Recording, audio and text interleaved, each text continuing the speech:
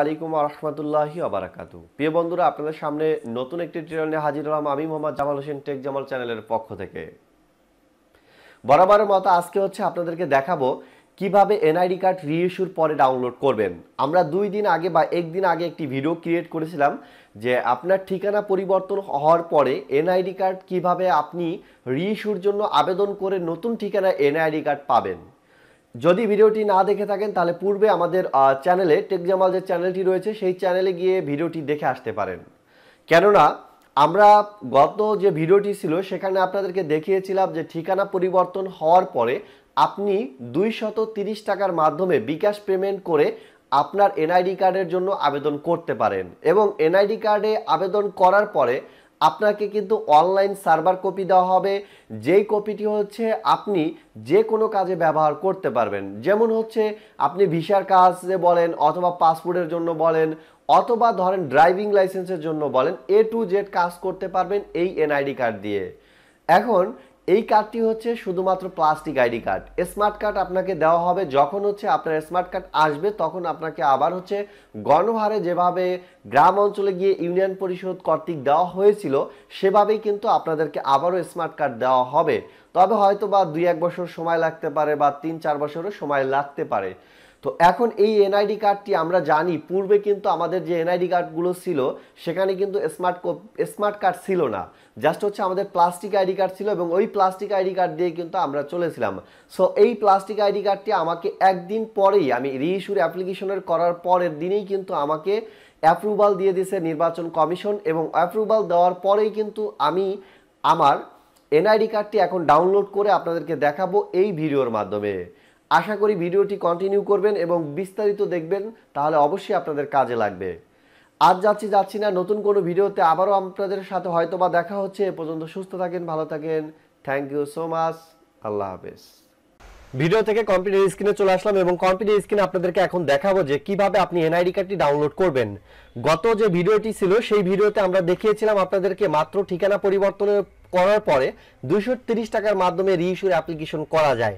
এই ভিডিওটা কিন্তু আমরা সেটাই বলেছিলাম যে কীভাবে আপনি এনআইডি কার্ডের জন্য রিইস্যুর অ্যাপ্লিকেশন করতে পারেন। আমাদের অনেকের এনআইডি কার্ড হারিয়ে যায়, নষ্ট হয়ে যায় বা ঠিকানা পরিবর্তন হয়, তখন হচ্ছে আমাদের রিইস্যুর অ্যাপ্লিকেশন করতে হয়।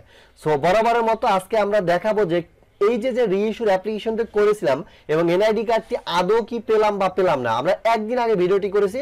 আজকে আমরা আপনাদের সরাসরি লাইভ করে দেখাবো যে কীভাবে আমরা এই এনআইডি কার্ডটি পেলাম। তো বরাবরের মতো আপনাদেরকে আজকেও একটি রিকোয়েস্ট করতেছি যে এখনও যারা আমাদের চ্যানেলটি সাবস্ক্রাইব করেনি তারা অবশ্যই চ্যানেলটি সাবস্ক্রাইব করে নেবেন এবং পাশে থাকা বেল আইকনটি প্রেস করে দেবেন। আর ভিডিওটি কেমন লাগল অবশ্যই কিন্তু মন্তব্য করতে ভুলবেন না।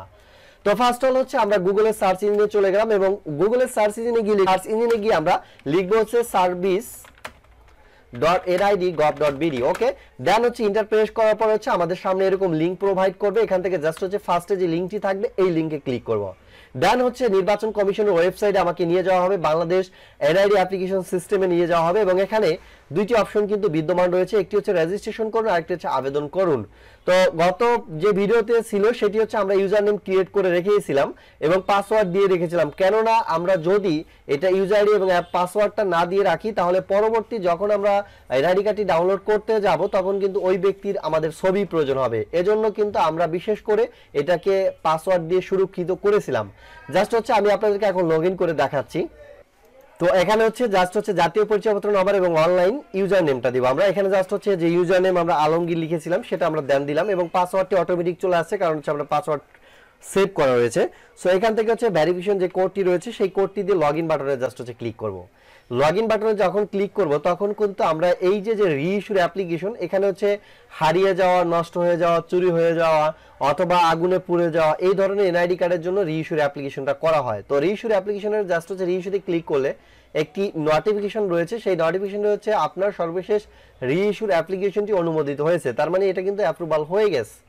তো এখন হচ্ছে আমরা আবার হোমে ক্লিক করব। হোমে ক্লিক করে দেন হচ্ছে আমরা এই কার্ডটি ডাউনলোড করে আপনাদেরকে দেখাবো যে আসলে কি আদৌ আমরা ডাউনলোড করতে পেরেছি কিনা বা এই আইডি কার্ডটি পেলাম কিনা। তো এই ডাউনলোড বাটনে জাস্ট হচ্ছে একটি ক্লিক করব। ক্লিক করা মাত্রই দেখবেন আমার সামনে একটি প্লাস্টিক এনআইডি কার্ড চলে আসছে। এই এনআইডি কার্ড দিয়ে আপনি কি কাজ করতে পারবেন? এই এনআইডি কার্ডটি দিয়ে আপনি যে কোনো পাসপোর্ট বলেন, বাহিরে গমন বলেন ড্রাইভিং লাইসেন্স বলেন এবং হচ্ছে যে কোনো ধরনের কাজ আপনি এই এনআইডি কার্ডটি দিয়ে করতে পারবেন। যতদিন অবধি আপনার হচ্ছে স্মার্ট কার্ড না আসবে। বুঝতেই পারতেছেন? আপনাদের কিন্তু একটি ইন্টারেস্টিং ভিডিও আমরা উপহার দিলাম। তো এরকম ভিডিওর জন্য অবশ্যই কিন্তু আপনারা আমাদেরকে একটি লাইক দিয়ে দিবেন এবং কমেন্ট করবেন। আপনাদের এই ভালোবাসা পেলে আমরা হচ্ছে নতুন নতুন ভিডিও টিউটোরিয়াল করার জন্য আগ্রহী হব। আর আমি শারীরিকভাবে অসুস্থ থাকার পরও আপনাদের কিন্তু ভিডিও দিতে যাচ্ছি এবং আমার কণ্ঠ শুনে আপনারা বুঝতে পারতেছেন যে আমার আগে যে ভয়েস সেই ভয়েস কিন্তু এখন আর নেই। সো আমি আশা করি আপনাদের এই ভিডিওটি উপকারে আসবে। আর যদি উপকারে আসে, তাহলে অবশ্যই কিন্তু আমাদের চ্যানেলে সাবস্ক্রাইব করবেন এবং পাশে থাকা বেল আইকনটি অন করে দেবেন। আর যাচ্ছি যাচ্ছি না, নতুন কোনো ভিডিওতে আবার আপনাদের সাথে দেখা হচ্ছে। এ পর্যন্ত সুস্থ থাকেন, ভালো থাকেন। থ্যাংক ইউ সো মাচ আল্লাহ হাফেজ।